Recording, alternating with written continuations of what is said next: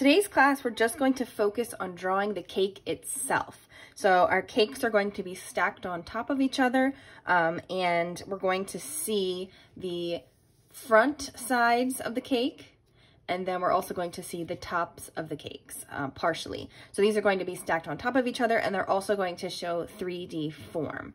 I have created this um, step-by-step um, -step guide sheet for you to check out and look at if you need some direction on how to create your cake using steps. And I'm also going to show you in the video. Okay, so I'm gonna start here with step one, and this kind of looks like a short, kind of flat cylinder. So that's what I'm going to start with. That's going to be the top tier or top um, stack of my cake. So I'm gonna start here at the top with kind of a skinny oval. And then two lines go straight down of the sides and then connect with another curved line, gentle curve, um, that kind of matches the same curve as my top cylinder.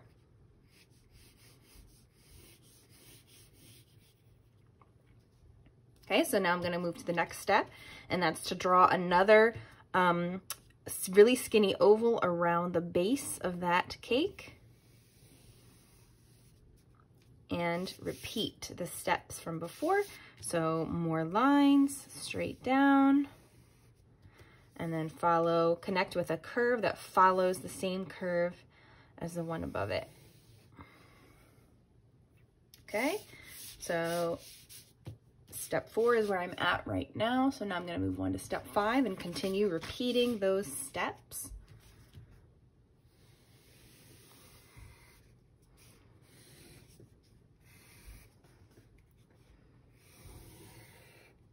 Okay, so there's my three stacks, um, my three tiers of cake.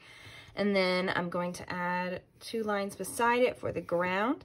If you wanted to, you could make another skinny oval on the bottom for like a cake dish or a cake plate or something like that. I'm not going to do that for mine, but you certainly can do that for yours if you want. And then the last step is to kind of just um, add some designs and decorations. Now notice when I did this, I was sketching. I was using very light um, lines. I wasn't pressing very hard. So I know we talked about sketching before. So when you are doing your sketching, make sure that your hand, your, your wrist is loose and your hand, you're not pressing very hard with your hand.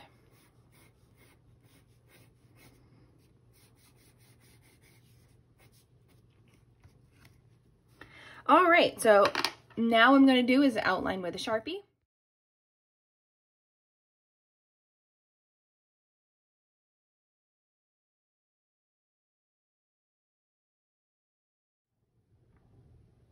When you are finished drawing and then tracing with your Sharpie, also go ahead and add some decorations to the cake with your Sharpie um, and then put this away because we're going to save the next part, the coloring part for next class. I'm gonna talk about how to blend colors. We're gonna talk about color choices and things like that. So we're gonna save the, the coloring part for class number two.